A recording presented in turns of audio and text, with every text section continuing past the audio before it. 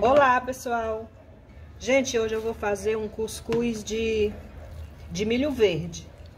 Ó, eu já bati o milho verde, o grão do milho verde, ó, já bati no liquidificador. Vou estar tá colocando aqui nessa bacia. E aqui eu vou misturar uma xícara de flocão. Vou colocar sal e vou colocar esse pouquinho de tapioca, porque eu gosto do meu cuscuz bem ligadinho. Aqui eu não coloquei água porque o milho já foi batido com, com leite. Agora eu vou deixar ele hidratar, depois eu vou mostrar pra vocês como que fica. Pronto, pessoal, ó, ele já hidratou. Agora eu vou colocar aqui na cuscuzeira e vou levar lá pra cozinhar, é. Pronto, gente, já cozinhou o cuscuz. Olha só que maravilha, pessoal. Agora aqui, gente, só é passar um pouquinho de margarina ou manteiga.